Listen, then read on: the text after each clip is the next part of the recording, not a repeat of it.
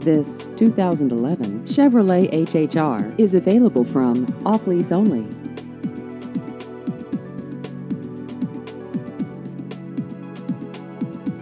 This vehicle has just over 42,000 miles.